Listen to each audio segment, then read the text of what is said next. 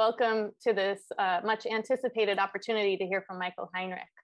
I'm Rebecca, um, and I was just speaking to one of MR's mentors behind the scenes here recently, and he said to me, Marx is like an ancestor, an ancestor to all decent people who seek to understand the world in order to change it. And we don't worship Marx, but we show him respect as we would to our ancestors. So today we have a special opportunity to witness a conversation between several generations of readers of Marx, between Michael Heinrich and his partners in conversation today, Cordelia, Edward, Nathan, and give it a fresh look. So perhaps you read Marx long ago, but suddenly came to the re realization that but while Marx's words stayed the same, you changed.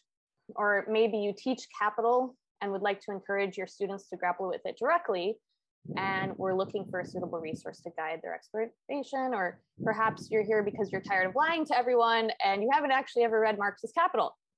And Heinrich is clear about this. There's no real need to worry about that any longer. This is your chance to um, look at a commentary um, that takes you directly to, to capital and back. So uh, Mike, you know, Heinrich's newest book is called How to Read Marx's Capital. And in the tradition of commentaries on philosophical texts, it's meant to be paged through with capital in hand, specifically this edition, um, the Penguin edition.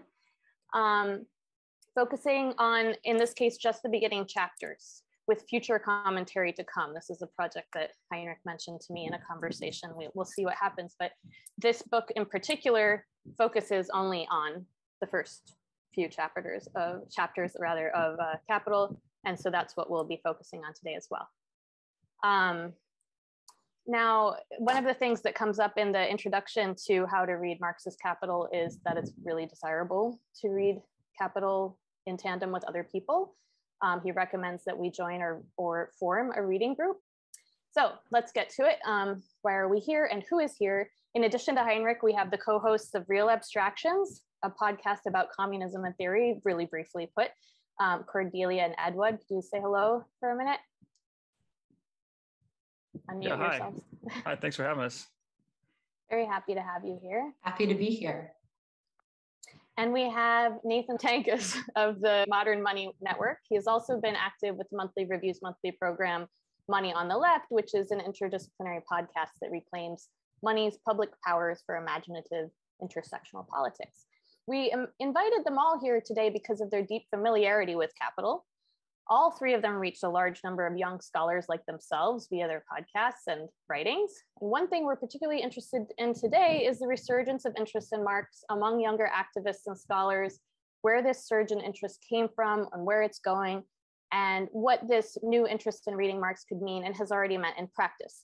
So to begin with, grounding us in everyday practical realities, Michael, I would personally love to know when you started writing this book in Germany years ago, because this is a translation that has recently come out in English, but it was originally published years ago in Germany. What was going on in the world and how did that in part prompt this intervention? And what has changed since then? Now that this book is being released in English, what has changed in terms of who is reading Marx and why they seem to be reading Marx in the time between your writing of the book in, in German and its release in English?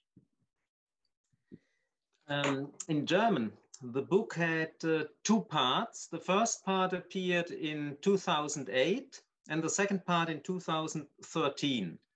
And when you think back uh, in 2008, it was uh, the time of the financial crisis, uh, which came out, and uh, a crisis which was rather unexpected for bourgeois uh, economics.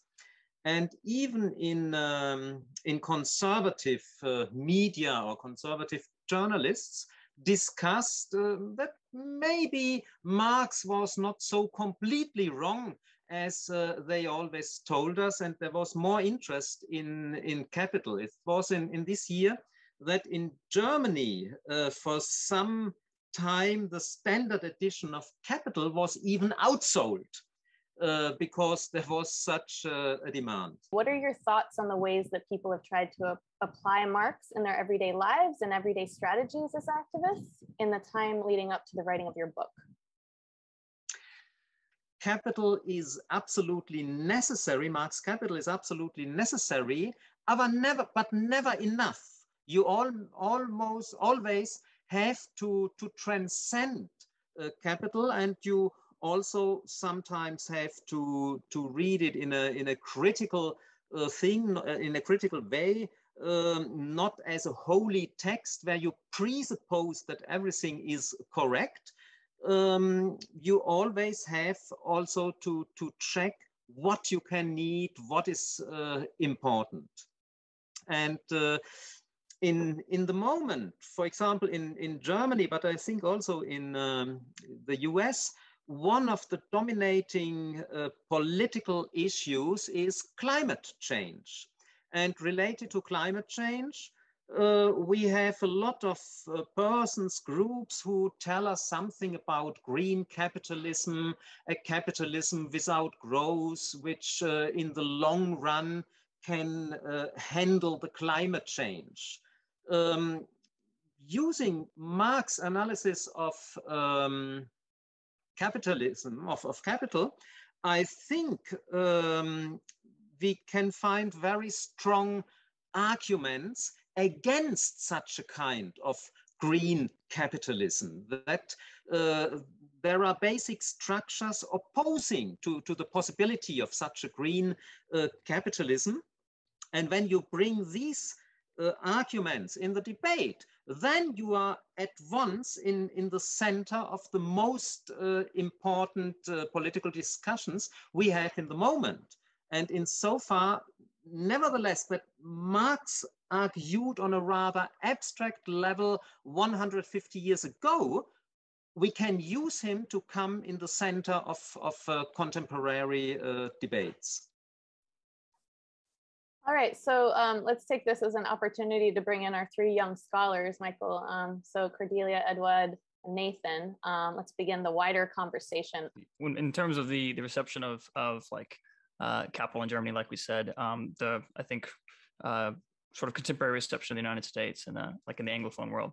Um, that always sort of happens after in the aftermath of a crisis, and I think part of that is, of course, the way that capital still gets read as ultimately an economic kind of text. So any sort of economic crisis there is, we go to it as something that's going to explain the economic phenomenon going on. Um, but I, I, think in terms of like you know obviously the climate crisis and all these other things that are still going on around us, um, it's one of the great things about about um, I think actually this, this book in particular is it's going to uh, does is already out. It argues for a a much more relevant, like you said, very, uh, Marx is our contemporary um, reading of Marx, which which is not just sort of economic thing we have to read to figure out what just happened, but it's something that's going to guide us politically uh, in in a more serious direction. As much as uh, Capital is is uh, a timeless text in the sense that its form analysis apprehends uh, enduring concepts of capitalism. Um, I was curious how uh, you might make the, the pitch to a politically organized um, reading group, study group, group of friends, um, why they should take the time and effort to go through capital with the kind of uh, precision that you do um, in your book, especially given the kind of um, common sense uh, dismissal maybe of some of the finer grained parts of what's happening in capital as as you know tables and tables of, of linen production coefficients um, and uh, a kind of like folk reading of the the political dimensions of capital as being limited to something like a, a kind of moralistic ricardian critique of exploitation.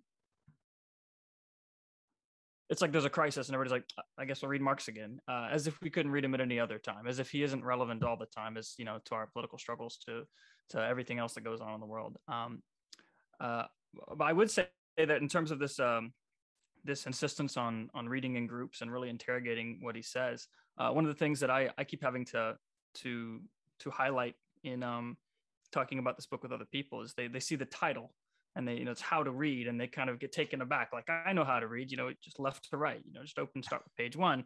So they they treat it as if this is some sort of you know like abcs or something but uh, I, I, I get this this impression and um and i think you even say this actually in your preface that it's it's not just learning how to read in general but learning the importance of interrogating marx uh, and and doing it in this way Um, and uh, I, I, I'd love to hear uh, more, more about that and, and the importance of that. Cause I'm actually, so with the release of this book, I'm doing my own capital group um, that I put a link out for a, you know, a thing out for. I said, if you want to just do this with me uh, with this text, just let me know. And I'm now at like 300 people in a, in a server somewhere that are hmm. all telling me that they're going to read this book with me. I expect like 20 of them to show up, but um, you know, because that's the way that goes. But uh, I would love to to have a better idea of what you mean by that, and if you have any tips for doing that in larger groups on the off chance that I have 300 people all trying to interrogate this text with me.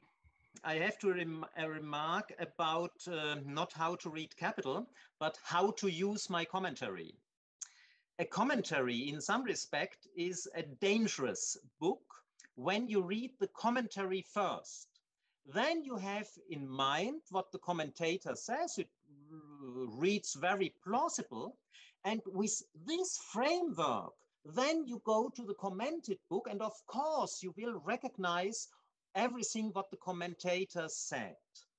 Therefore, I recommend very strictly read first a few pages or a paragraph in capital write down your questions, uh, your, your, the problems you see with the text, and only after this, read the corresponding part of my commentary.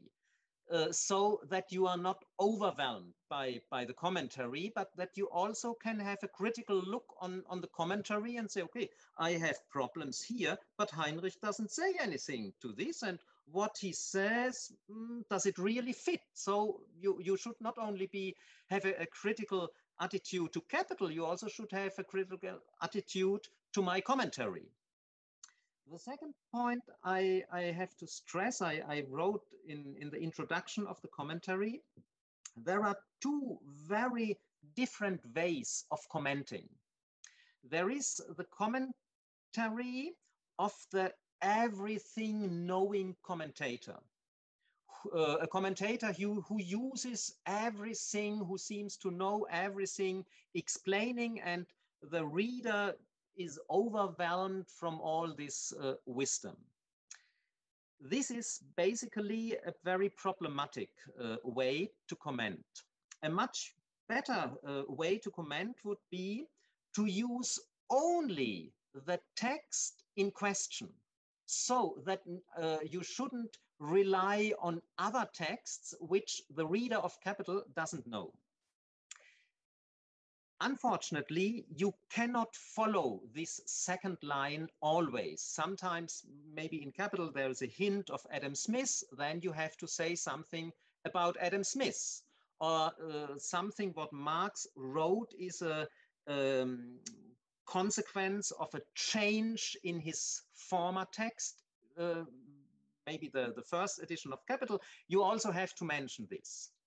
So you cannot exclude that you use more material than just the text you, you need. But um, what I tried in my commentary to make very clear on which level we are. When I uh, use things which are not immediately in, in the text under discussion, I put to my commentary addendum as a, as a title. This addendum also in, um, um, appears in, in different um, letters in a, in a different uh, typographical um, picture. So it is very clear for the reader on which level of commentary uh, we are. And this is the basic how to use the commentary. But now how to read capital. Um, in the first, the first uh, paragraph of the first chapter, who read capital, you all can remember this, uh, the wells in um, God, now I, in German, I, I know it by heart, but not in, in, in English, this um, sentence that uh, in, in societies in which capitalist mode of uh, production prevails, uh, wealth takes the form of appearance of a big collection of um, commodities. This sentence seems rather easy to understand. And the second sentence says, and therefore our um, research starts with the single uh, commodity. This seems very easy to understand. I use in my book uh, two or three pages of commentaries just to these five lines in order to make clear nothing is easy. There are implicit um, differences. When Marx speaks of societies in which capitalist mode of production prevails, then implicitly he distinguishes between societies without capitalist mode of production, uh, societies with capitalist mode of production, but it is not prevailing, and societies with prevailing um, capitalist mode of production. And only about these societies we talk. So already in the first sentence, you can learn that discussing money and commodity in the first three chapters is not discussing a kind of pre-capitalist mode of production. It is discussing capitalist mode of production but in the very first step with abstraction from capital, because you can at the beginning not talk about everything. So I try to show what is in such a, a, a, sentence which looks very easy. And then I criticize the way Marx continues when he says, and therefore our uh, research starts with the single um, commodity. This is not really a reasoning. Even if we can agree that um, the wealth appears as a um, appears as a collection of commodities. Why is commodity the starting point? Why not money? Why not wealth? Why not use values? So Marx in, in with this second sentence, give us not really a reason why he starts with the commodity. He just tell us that he himself had a certain thought. He, he thinks it's rational. And we have to wait.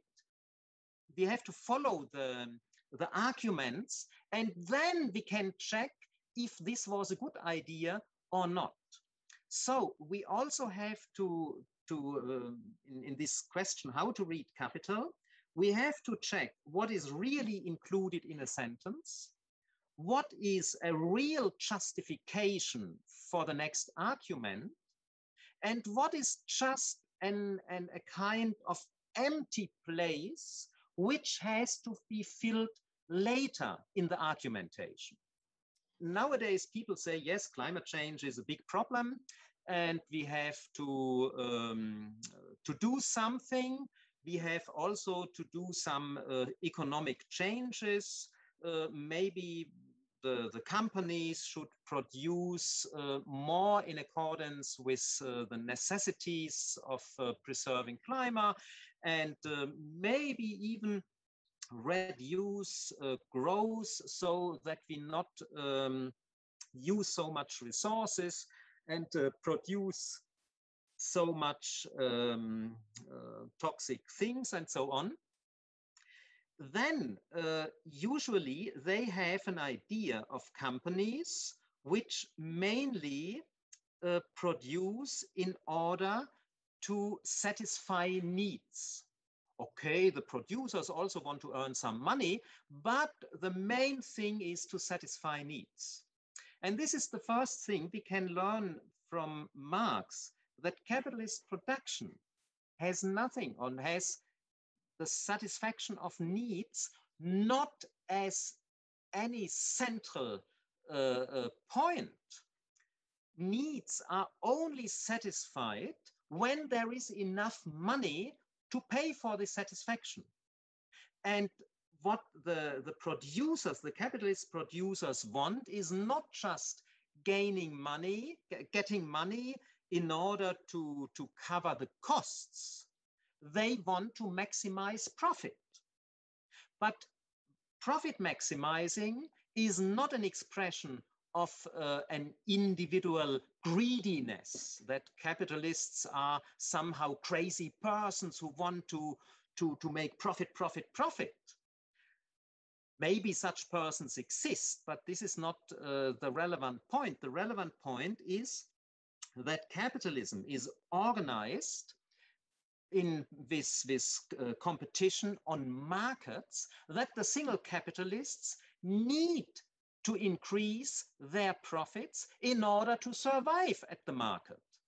And this brings, this, this enforces a certain structure, profit maximizing, um, mostly uses new technology in order to uh, uh, to, to uh, decrease the costs of the single unit which is produced. But this new te technology in most cases only decreases the unit costs when the number of units is um, extended. And in so far growth, it is not an aim of capitalist production, but it is a kind of collateral from profit maximizing and profit maximizing is um, it, it is forced by the way capitalism is organized and must be organized. So when you understand these interconnections, it becomes clear that you cannot say, oh, capitalism, okay, basically it looks nice, but I want to change this element and this facet, and then we live in, in a wonderful world. No, you cannot change every facet in the way you, you would like to change it. And this, when, when this is not possible, but when the problems like uh, climate change are so big, then we must discuss what are the alternatives to capitalism. It's, it's a, a necessity to, to discuss this. It's, it's not a, a moral point. It's not that uh, you must wish this. It is a necessity when you are confronted with certain problems and to understand this and that you are able to, to translate this also in, in, uh, in a public discussion. The study of capital can help. Now you, you did uh, a very long sequence from um, capitalism, revolutionary subject, revolutionary moments, disruption of production, which nearly every step of your sequence I would question. Um, revolutionary subject, um, what usually uh, leftists and also Marx for sometimes did this, what what they do with this to me it sounds uh, like uh, looking for the uh, now I forgot the English term, this um, in al alchemy, this stone which can transform every element in, in the other uh, elements. The revolutionary subject for, for many leftists is such an entity when we could find this, then we can do everything.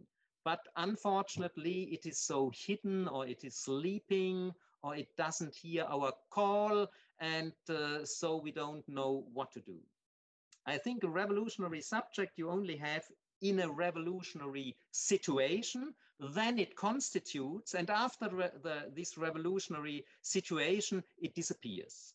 So to, to look now, oh, what is the, the revolutionary subject, uh, I think it is um, a wrong question. We have to look on, on real fights, of course, with very different groups. Some groups uh, which sometimes were expected they would be revolutionary subjects, they are not. Others who where, where we didn't have this expect, expectation uh, become active. So history is a much more open uh, process than in, in this idea with the, the revolutionary subject. Change, also when we, when we talk about fundamental change, like abolishing capitalism, cannot be reduced to the single point. Now there is the moment, either revolution, either nothing. No, um, capitalism is changing every day. It is, on the one hand, adjusting. It is uh, the most flexible uh, mode of production we ever saw in history.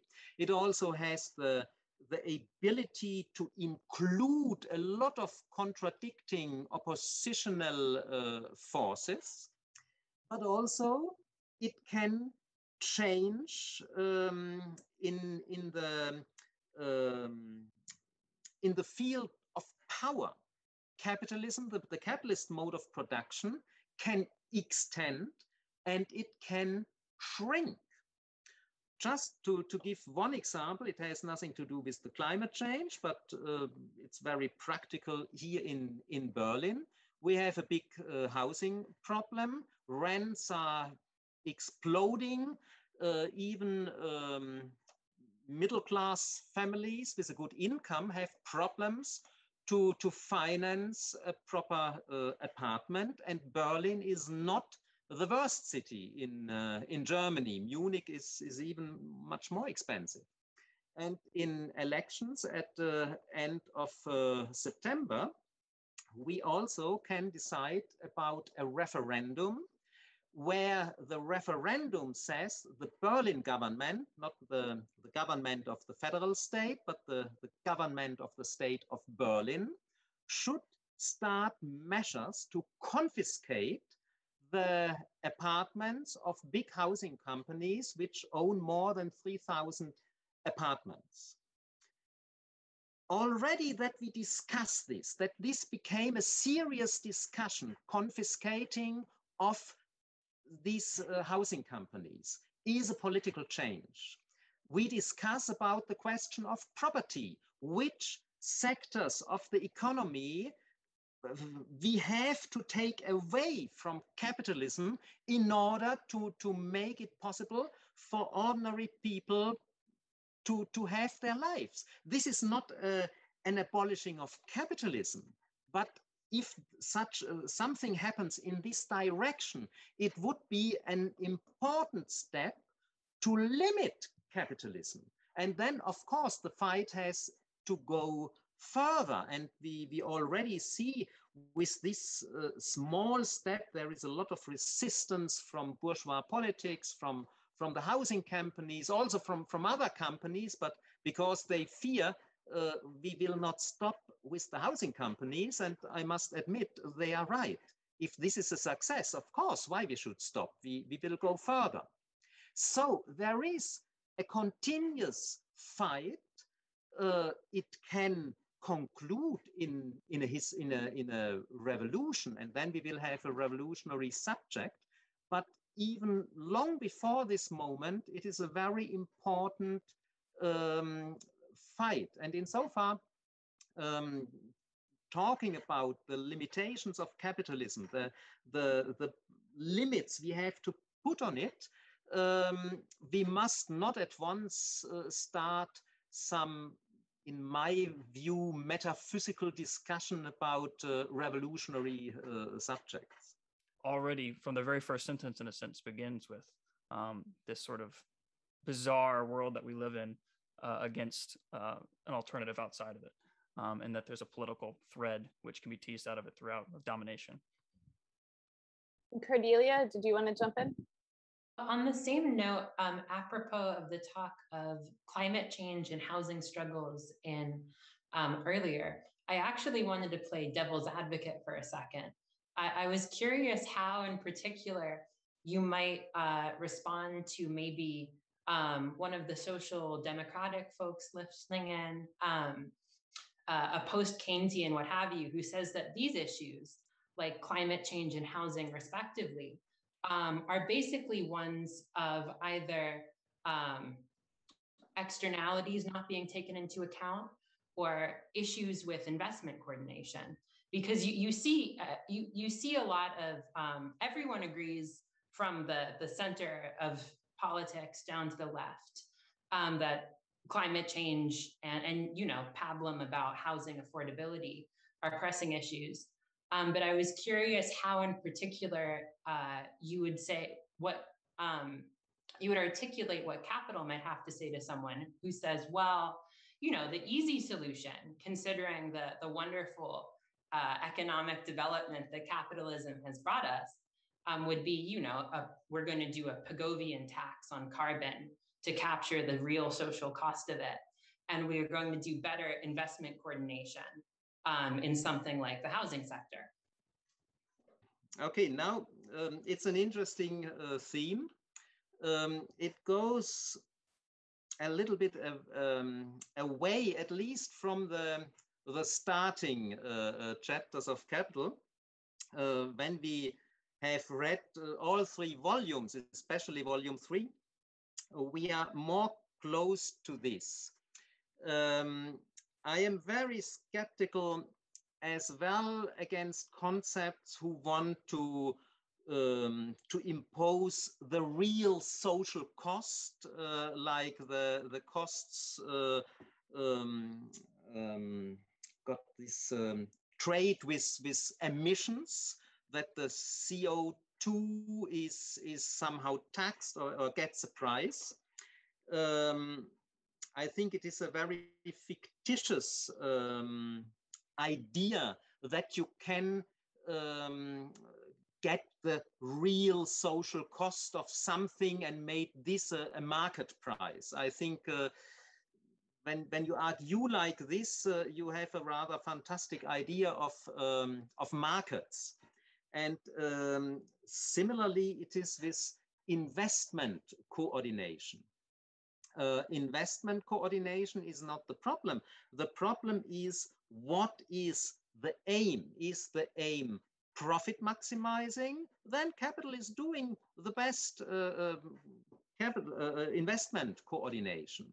Or do you have uh, the aim really to satisfy the needs of, of uh, ordinary people with low income?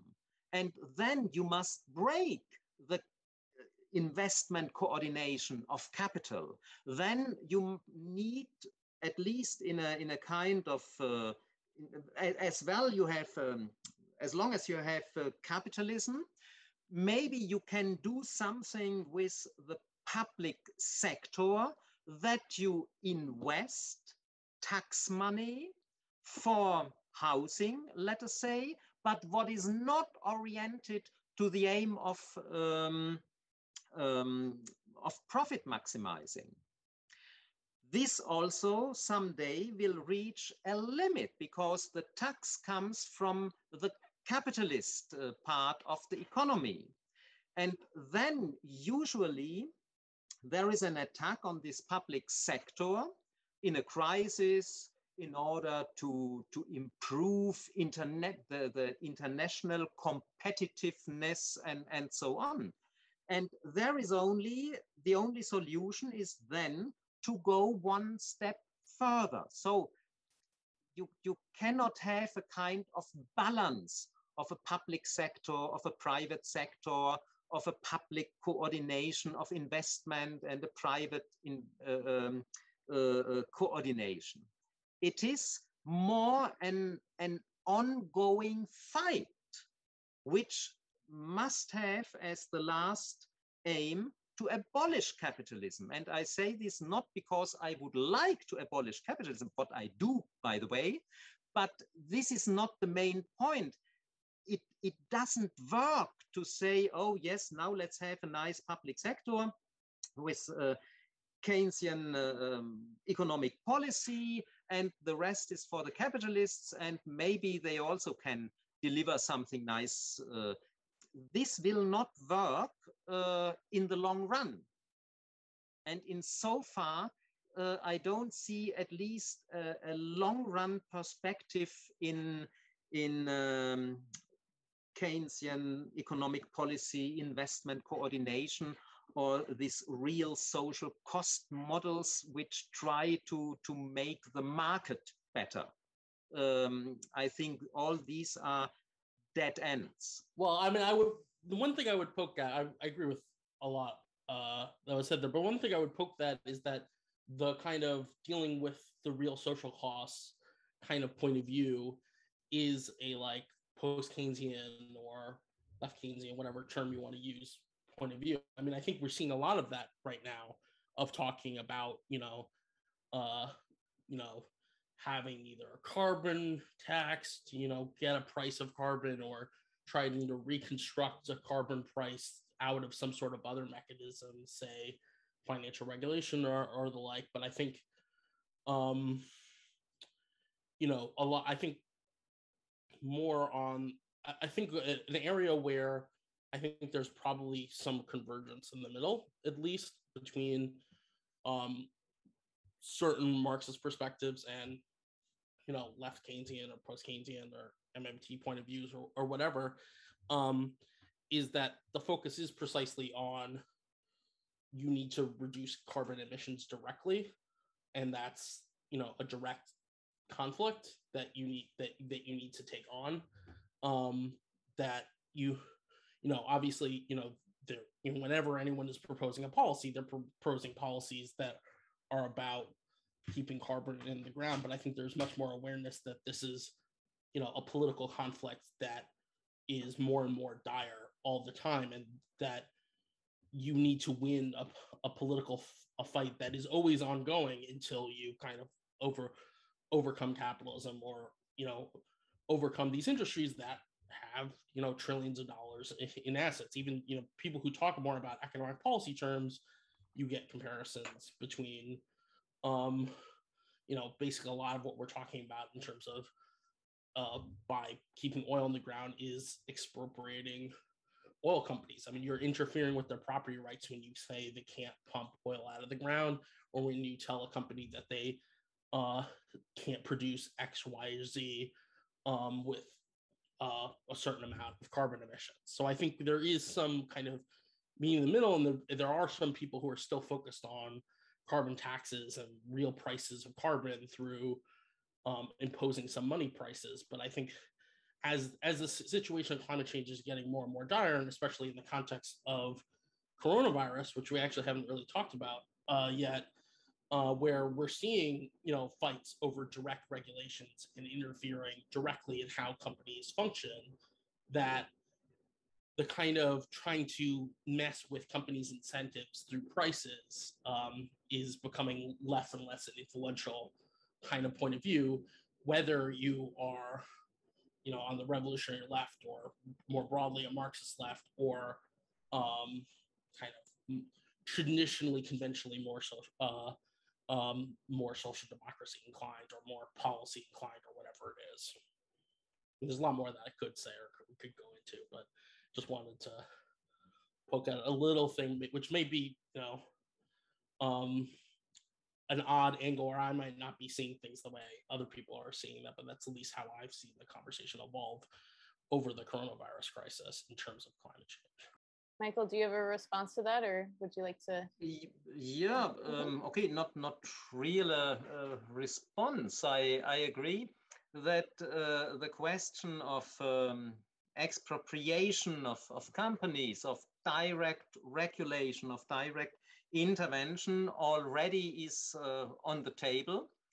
Um, but I think the, the big difference is also to, to Keynesian uh, economists and, and um, politicians with such an orientation that they basically believe in the strength of the market that this is our basic structure. Okay, it needs a little bit uh, improvement here, a little bit regulation there, and then we can um, we can go forward. And also, a lot of leftists um, have the idea that uh, a socialist economy would be a kind of market socialism. And here I'm extremely skeptical when I have in mind uh, what Marx was uh, analyzing, that markets, when, when they are really um, include everything, when, when a market is not only a very limited thing like it was, for example, in ancient uh, societies. But when the whole economy is uh, organized with markets, that then you have a strong tendency to a capitalist market. This is, uh, there, there is not a, a kind of all including non-capitalist market. And when you have a capitalist market, then you have, of course, the all the problems with crisis, with uh, destruction of, of the environment, uh, and so on. In so far, from my, my reading of Marx, I would take a strong non-market orientation. I know that, of course, we cannot abolish markets tomorrow, even if we would have a kind of revolution and, and would take, uh, could take political power. You cannot say, okay, guys, from tomorrow on, everything is different.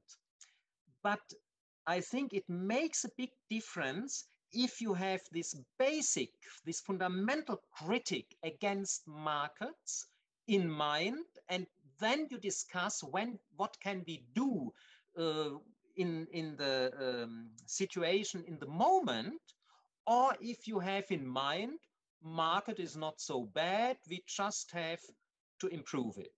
And this, I think, is politically it's it's a very important point. U.S. vantage point, I think there's more of a right-left split along yeah. the lines of you're talking about um, in terms of people who are otherwise influenced or interested in Keynesian or post-Keynesian ideas or MMT ideas, whatever. I think there's more of a split, which might not be a split that's emerging in in in Germany, which obviously has a much more long-standing uh, Keynes, like Keynesian influence in you know in among politicians, among not, that is sort of like been disappeared and then sort of uh, vaguely rediscovered in bits and pieces in the U.S. in the last few years.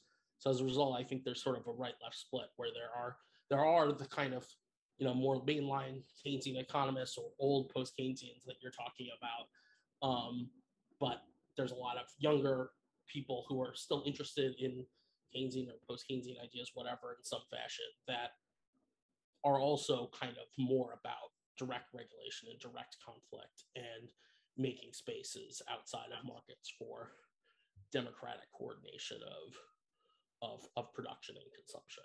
Um, that's all I'll throw in and then hand it back to Cordelia. Well, I'm always curious to hear more about uh, what folks have to say about um, quote unquote democratic coordination of production and consumption, especially apropos of what, what Marx talks about um, with regards to free association and social planning. But I think to uh, to keep it within um, capital a little, uh, I wanted to raise a, a specific question, um, which sort of fits into this discussion between um, the guide and uh, post Keynesianism, et cetera.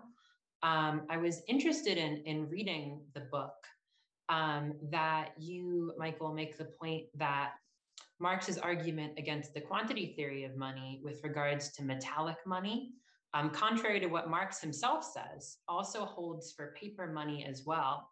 Um, I know Nathan here does a lot of work in and around modern monetary theory.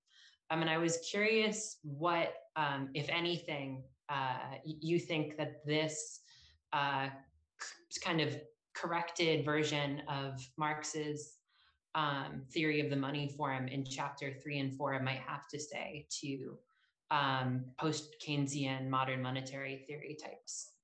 Yeah. Okay, this now, now until now we were on a rather general level of discussion. Now we become a little bit more specific about Marxian uh, categories. Um, of course, in in uh, my my book, it's a commentary on, on capital. It's not an, an essay, not a monography. However, uh, I also had to, to stress points where Marx's arguments are not so convincing or becoming wrong looking to the um, historical development. Marx in Cap Capital presupposes a so-called money commodity that like it was in, in former centuries, that gold or silver is the money. And paper money just represents the gold, uh, a certain amount of gold or, or silver. So the, the commodity, the money commodity itself, it is not necessary that it circulates, but what circulates, the paper has a very strong relation to this. When we look now to, to the money system uh, in, in uh, the last uh, quarter of 20th uh, century and uh, in, in the contemporary moment, um, there is no money commodity. There are, I know there are some people who try to construct and to, to argue, oh, gold is still the money commodity. Gold has a, a money price, yes, but vinegar has also a money price. Uh, this is not enough that something has a money price to say this is the money commodity. I would say today we have a, a money system which is not dependent on a money commodity. And the question, the first question is when we discuss Marx, uh, does this lead to a certain damage of Marx theory? I would say no, um, because when you read really carefully um, chapter one, where the money commodity plays a crucial role, Marx never justifies it. He just take it as given and shows what this means for uh, form analysis. So it is not really in, in some respect proved that uh, commodity production, commodity circulation needs this money commodity. What is proved by, by Marx is that we need a general form of value. And when this general form is associated to a certain commodity, Marx calls this the money commodity. But the question is, must this uh, general form of value really associated to a commodity, or can it also um, be associated to a symbol? And here is my argument. This is not precisely Marx. This is a, a kind of, of interpolation on, on my side. Uh, what is this general form of value representing? It represents value as such, but value as such doesn't exist. So you can only use a symbol to represent something what is not uh, an empirical thing uh, what exists. Marx gives in the first edition of Capital and a very nice example uh, dealing with general form of value. He says, when you consider money and commodity, it is a little bit like a very special zoo where you have the uh, certain animal species, tiger, elephant, dog, and then as an individual, you have also the animal. But of course, that animal doesn't exist. There is only, this is now my continuation of Marx's uh, example, it is not Marx. When, you, when the animal should exist in this zoo, there are only two uh, possibilities. Either one animal counts simultaneously as the animal. Let us say the lion is not only the lion, it counts also as the expression of the animal. This is the case with uh, gold uh, uh, as money commodity. Or you use a symbol. You have a poster with a big A printed on it. And this poster represents the animal.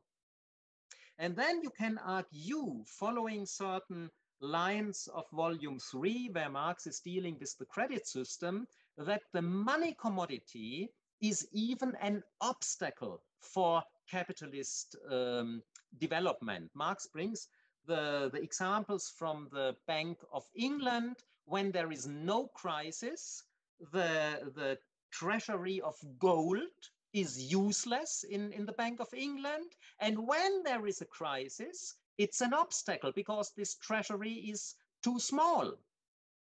So it is not really functional.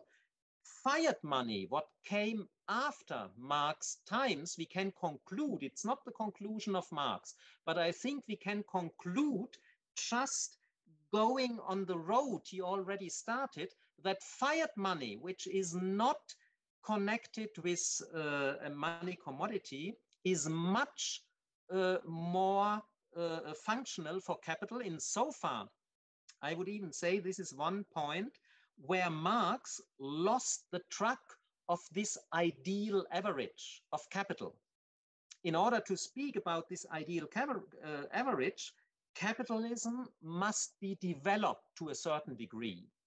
And Marx wrongly believed that in uh, the, the capitalist monetary system is already so developed that after the money commodity, nothing, uh, not, not a new basic step will come. And this was wrong.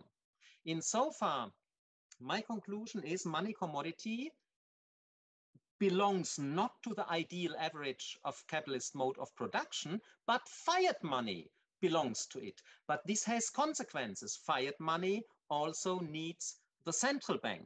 So you must have uh, a, uh, um, a credit system with a central bank with a certain role of the state. And this was exactly the problem Marx was confronted in the 1870s. When we talk about these issues uh, regarding Marx, we always should have in mind that the manuscript for volume three was written in the year 64, 65, even before the manuscript of volume one. But Marx's research went on. And in the second half of the 1870s, he realized in, in the, from the situation in Europe that a new form of crisis emerged, the long-lasting stagnation crisis. And this long-lasting stagnation crisis had a certain um, connection with the banking system, with the international banking system. So he became very clear about to analyze such kind of crisis, we need a deeper uh, research of the credit system and of the international system, the world market. We cannot exclude this. And when Danielson, the, the Russian translator, pressed him when the second and the third volume of Capital will appear, when, when you are ready with the manuscript so that I can start to, to translate, Marx wrote in a letter from um, 1878, oh, I cannot finish with Capital until this crisis will reach its top. Only then I can study um, what is connected with this. So Marx had a conscious uh, that his analysis was not finished, not finished in an empirical sense. This is never finished, but not finished in a, in a theoretical sense that the, um, the way he was working, he was developing categories is not finished. And this we should have in mind when we discuss nowadays uh, about capital, especially regarding money and the credit system. What we read as volume three is just the Marx state. He, he reached mid 60s in his excerpts and in his letters from late 60s, from 70s, it becomes clear that his, his concepts developed more.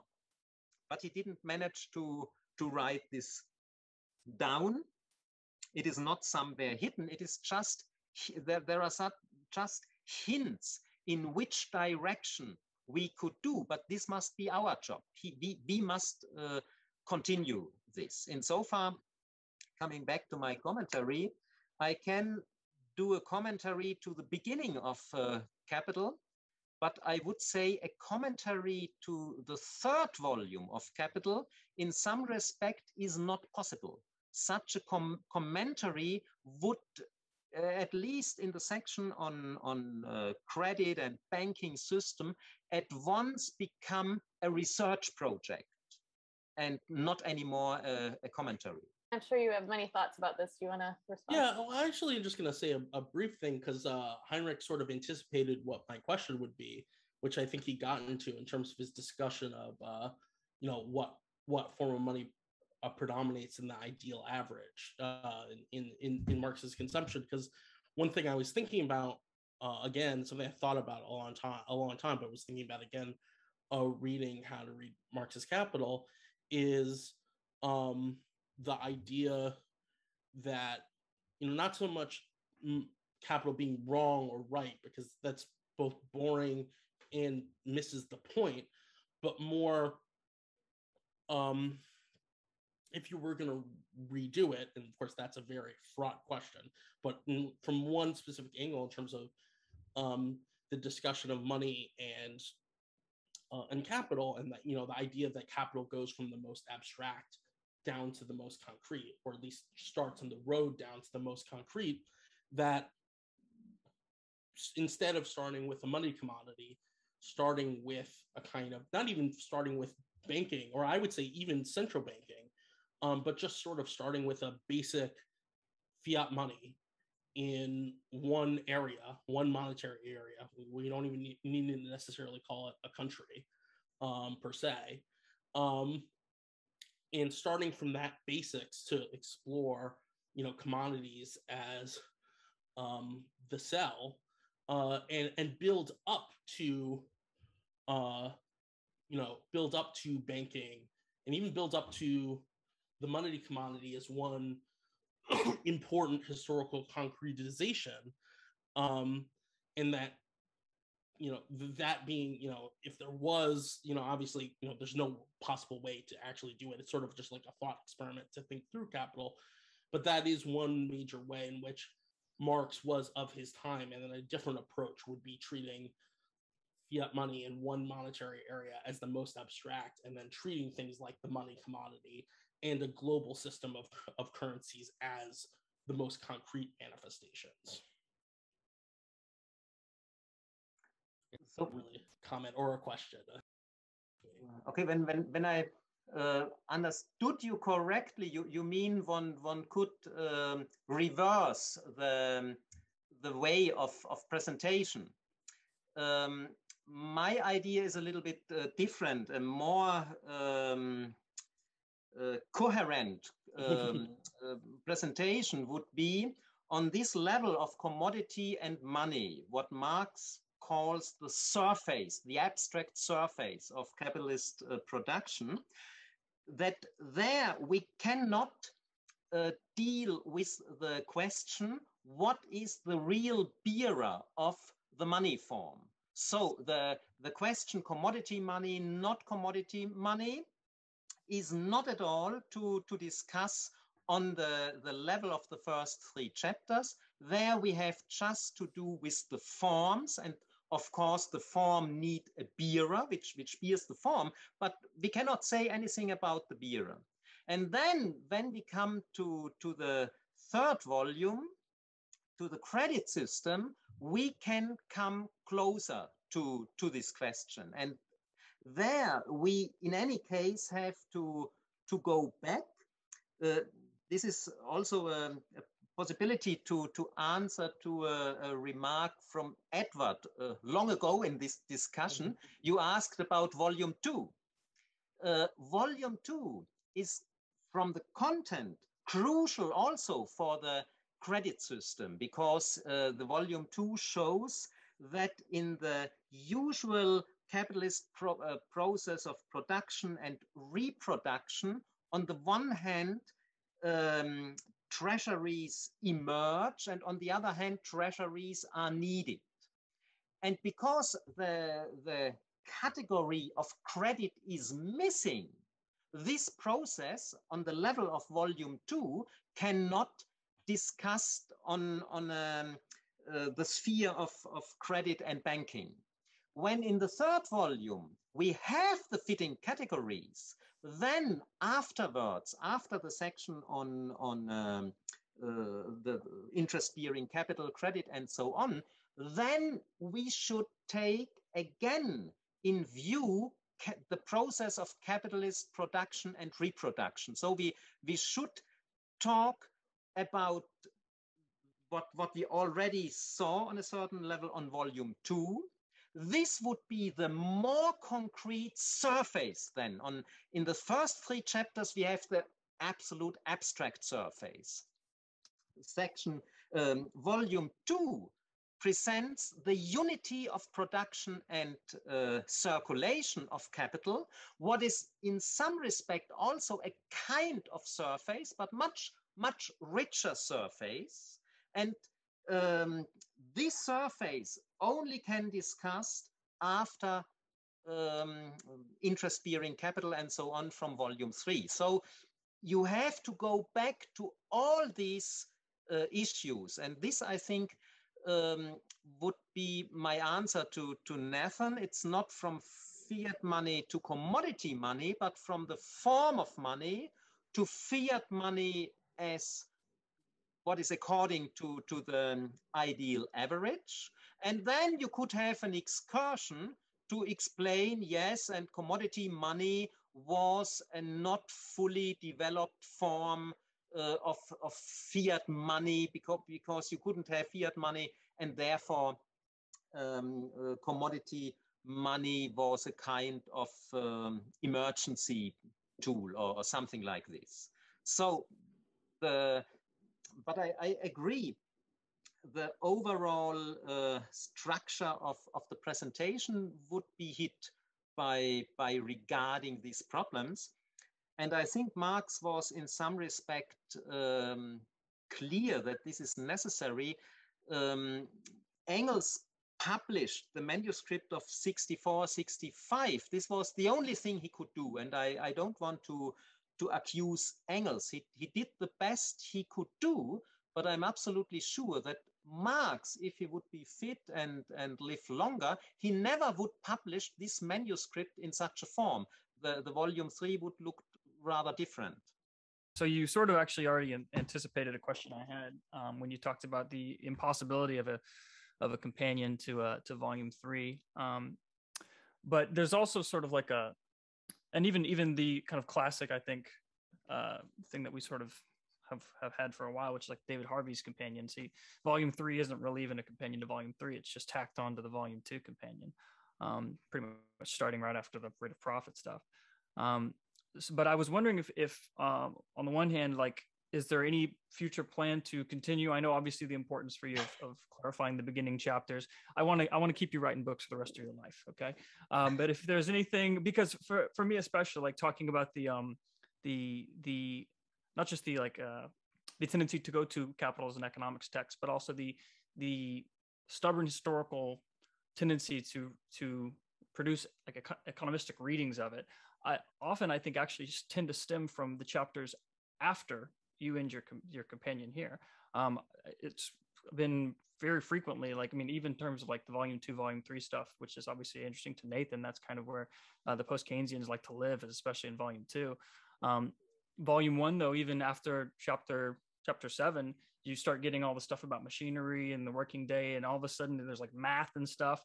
Uh, whereas you know Joan Robinson says we're going to dismiss the the chapter one stuff because you know labor theory of value is metaphysical, that kind of thing. That a lot of time is spent on the later chapters, um, which I think maybe could use some clarification in that sense because then you you uh, you get around that tendency to read it that way, which is I, I think been so so stubborn. But I, I would also say then that the the open-endedness of Marx's project that you had highlighted, uh, the the research project of like, you know, uh, the theory of money and credit that would just need to be done.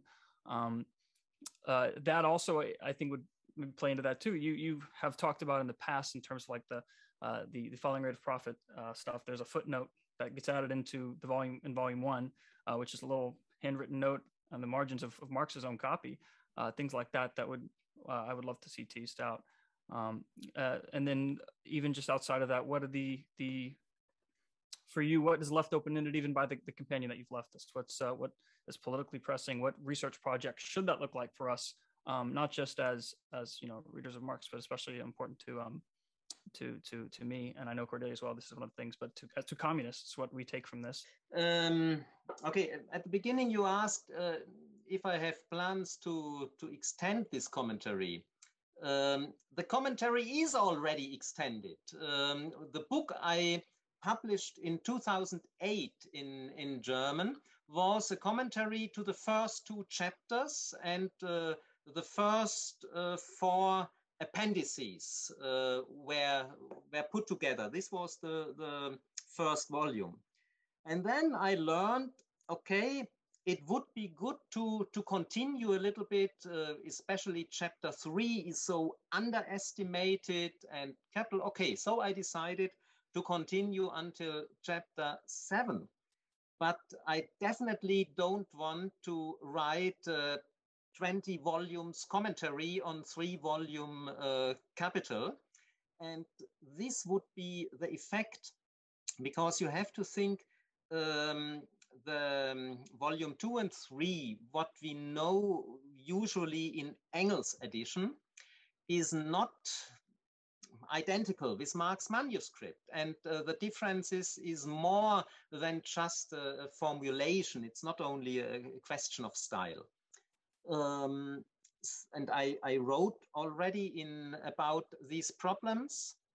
So the, the texts you, you have to consider to comment would be much more, um, much more extended, much more uh, difficult.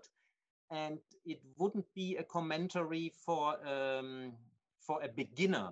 Um, in so far, I think very probably I will not continue this commentary. I also have a certain trust in, in readers. Uh, a commentary is like you take a child at your hand and, and you lead it. But there must be a point where you can let the hand of the child and the child can, uh, can walk uh, by, by herself.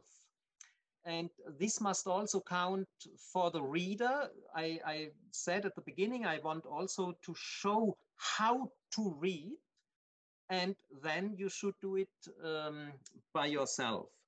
In so far, um, maybe I will do research on, on texts.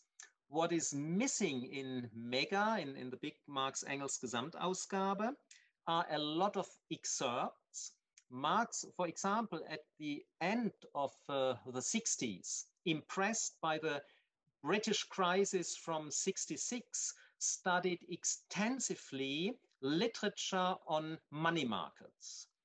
And uh, I think also this changed his views. After this, he decided for volume three not to take the British banking system as the empirical model for his theory, but the US American, because he argued they develop much quicker than uh, the British system.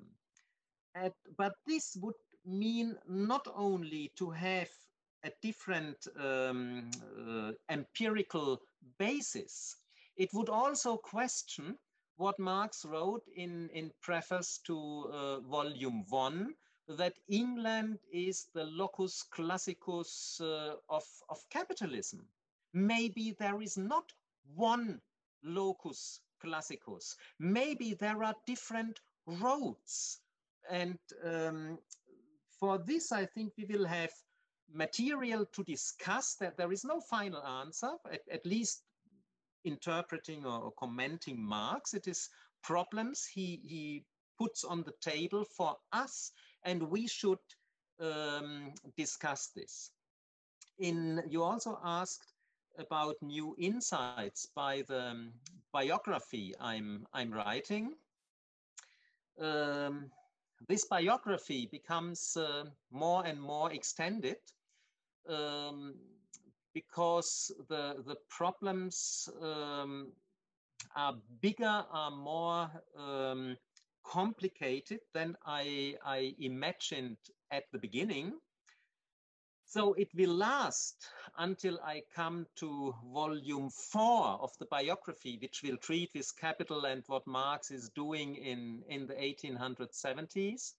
And then I, I hope I can put together, on the one hand, research I was doing the last years about new texts, uh, new drafts and, and uh, notebooks of Marx together with this biographical um, development. But this is a, a long lasting um, project um, which needs uh, patience, uh, not only from me, it needs um, patience also um, from Alex Locascio. He's in, in the chat. I saw who, who has to translate all this stuff and also, of course, patience for, for the readers uh, to, to follow this project.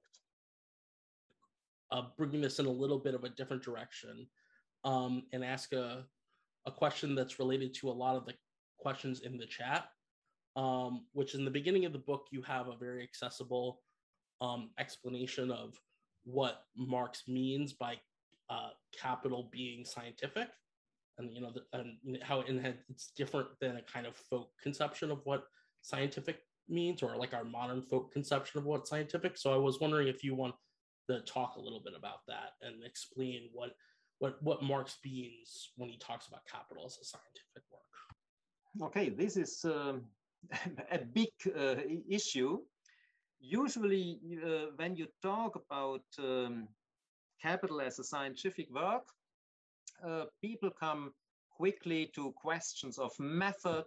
Then we talk about dialectics uh, and all and, and the relation Marx and Hegel. And um, I, I, these are interesting uh, discussions, but I think especially for a beginner and and this book how to read uh, uh, capital it, it is uh, designed for beginners. I think it is not so useful to discuss in an on an abstract level a lot of methodological questions. So i i used a rather um, simple notion of uh, scientific argumentation at the beginning, that uh, the arguments should be clear, that uh, when you try to argue in a scientific way, you, you make clear what are your starting points, what is the way you draw conclusions, how you can justify conclusions in order that the reader can check what you are doing. This, uh, I think, is the, the difference uh, to a religious text. A religious text is a revelation, and you can believe or not believe. And the scientific text tries to do something else. To come more to the details about uh, method, I think you need the concrete research, the concrete argumentation. Then also we can discuss discuss what means dialectical presentation. This is also the reason that uh, the, the postface to the second edition of volume one, which is usually in the usual uh, editions of Capital, is put at the beginning after the preface comes the postface. I didn't comment systematically because I took seriously what Marx was doing. He did, didn't put this as the, preface to second edition, he put it as postface. You need to know something about the presentation in order to understand this postface, where then he talks, uh, he, he brings all these famous um, um, remarks about Hegel putting from the head to the feet uh, and so on. So I think this stuff really needs um, an, a level which is not so totally uh, abstract. And in so far, I, I also have problems to, to talk now about because in, in this short time we can talk only on, on this abstract level. But let me say one point to, to the famous methodological texts of Marx. It is the introduction from 1857 with this idea ascension from the abstract to the concrete, and especially the postface second edition with uh, the relation to Hegel. both texts are situated in a certain situation. A situation, on the one hand, of learning. Marx is still a learning person, on the one hand, and in a political situation where Marx had to fight against certain attacks. Usually, we read them as if these texts are um, contributions to an eternal abstract discussion about method. This already is wrong. We have to put these texts in context. For example, this um, postface uh, to the second edition, the, the remarks about uh, Hegel are an answer to this critic where people said, oh, what this Marx here is doing is um, Hegelian philosophy mixing up with some economics. And even today, you can read this uh, accusation, for example, in the biography written by Jonathan Sperber. He exactly says this uh, Marx Capital is the combination of Ricardo's value theory and Hegel's dialectic, but uh, not really uh, something new. In, in the time when this accusation started in uh, around 1870, Hegel was the synonym for not scientific. Some to accuse someone, oh, this is Hegelian, was a kind of um, killing argument when when people believed this accusation, they said, okay, it's it's useless to to occupy with this guy. It is uh, empty speculation. So Marx, in in this situation, to in order to defend himself, he had to fulfill a double uh, task to say, on the one hand, no, Hegel is not so non-scientific as you believe, but he had also to say, I cannot just say, I'm a Hegelian and I just do what, what Hegel did on a, on a different field. So he had to, to say, yes, Hegel had something, but I do something different. And this on, on, a, on a few pages. Of course, this text had to be cryptic, had to be uh, the text in itself like, like a mystery. And now came generations of Marxists and tried to, Im to interpret the holy sentences. What means to put from the head to the feet? What means to reverse uh, something? I would say all these are just empty, um, empty notions which shall indicate it's a big problem and I cannot really talk about this problem at this, uh, this place. And this is so also talking about what means science, what means dialectical presentation and so on, we also have to get free from a, a burden of um, historically emerged views which hinder us to understand what Marx uh, was doing. I wanted to um, bring things kind of back around to where we started a little bit um, and and ask another question regarding the real world consequences of either misreading Marx or overly extrapolating capital from capital in politically expedient ways. Um, so, you know, how have debates between readers of Marx led to fissures um, between people who otherwise really ought to be coming together, applying Marxist ideas or you know Marx's ideas and theories to their joint strategy, rather than getting lost in the tendency to parse out differences in interpretation. I, must say I, I didn't fully uh, understand the question. Um, the, the difference about Marxists and and persons who, yeah. who read very closely Marx texts, or what mostly the, the real question that was a kind of diversion but the real question is what are the consequences of misreading marx and what are the consequences of the ongoing kind of like endless debates between readers of marx that lead to fissures such that people start to get so heady about interpreting the text that they're drawn away from practical um, work and daily life and applying Marx in daily life and and lose focus on the you know necessity of working together regardless of their differences in interpretation of Marx. First, okay, I I have to to limit um, in both sides. Um, I would say it is an an illusion to say, oh, let us read Marx very closely, study the, the holy texts.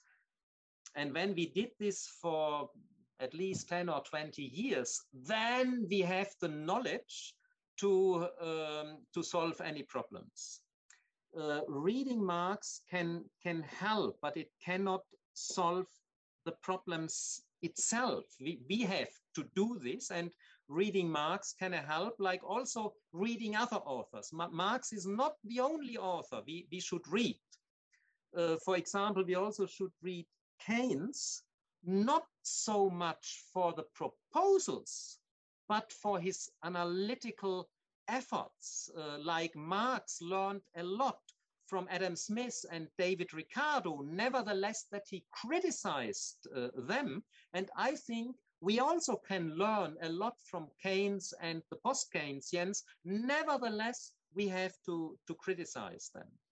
So reading Marx is not the key to everything. And in so far, you should always do uh, both reading Marx, reading other authors, and also being somehow involved in, in political processes because also there you you can learn what's what's going on how how people perceive something how they react how they fight uh, and so on on the other hand um, reading marx in different ways having different um, uh, interpretations for some questions maybe it has not uh, uh, very big um, effect. So I, I wouldn't agree if, if someone would say, oh, first, we must continue in all central questions in our view on Marx, and only then we can start to act. Uh, this is obviously nonsense. We, we have to discuss actions and we have to discuss how we, we can um, understand Marx and how does it help to us. So in so far, I, I wouldn't see um, there is such a big difference, or uh, at least it is not necessarily a, a difference to say, oh, reading Marx or acting uh, politically. It has to, to happen simultaneously and again also simultaneously to read other authors, not only Marx. Nevertheless, that I I recommend so much Marx, but it is not connected with an only, no only. Is there anything that the the three of you want to add at this point, at this particular moment? You'll have another chance. Go ahead. I would just, you know, uh, keep going with the political element. I mean, the the importance of of reading again, like if you're in a political organization or what have you, going to the text with with with pressing, you know, matters in mind uh, and and and seeing those things just appear in the text because they will. Um, you know, every time I read the text, it's always something new that sticks out to me uh, based on whatever's going on in the world. It's just a very you know living text for that reason. Um, but I, I, would also say then that there's an importance in in reading Marx as opposed to I, I, definitely agree. We should be reading other authors. We should be reading Keynes. We should be reading um, lots of lots of other people. Uh, but one of the importance important things of, of actually going to Marx and specifically staying with Marx. And I think one thing that um, you know Robert Heilbroner has the this quote that I tend to bring out a lot, which is that he says that you know we return to Marx not because he's infallible, but because he's he's inevitable. Like we just he, we have to go to him at some point. Um, uh, and I think one of the things that really sticks out to me in terms of, of what he's doing uh, is is that we he's there's no way around his critique, and also that the importance of, of actually reading him in his own terms or trying to as best we can, which I think is the strength of your companion, is that it brings out those terms or tries to clarify what those terms might be, is that we don't risk the political problem of having a misunderstanding of what our job ought to be. Um, and that's, I, I, think that's been a problem with the left, not just in terms of, you know, Marxists, but in general. And I think one that even Marxists have historically been pretty bad about clarifying when we start getting slogans like, you know, labor is entitled to all it creates, or, you know, th- those sorts of things where the, the text does do a, a good service in grounding us in what our, the obstacles are, the limits of the system are, and what we should be doing about it. Um, and so, you know, it, that's one of the reasons why it not only, you know, as relevant to the text, but also that it's relevant to our struggles to make sure that we're constantly going back to to this, uh, if not the text even, but at least the ideas, uh, because they still uh, need to be. Many of us still need to be reminded of of the the lessons of those, because otherwise, I think we we just are going to arrive at a political failure. I must say I cannot say um, very much to to this. I, I uh, agree with uh, this view, and I, I, try to to express something uh, similar. But reading your book, it seems like you're responding to a series of debates um, and and discussions amongst um, people who've written second, secondary interpretations, but you're you're not explicitly naming these different individuals because you don't want uh, especially beginning readers of capital to get lost in those debates you want them to have their own relationship with Marx. That's my my impression.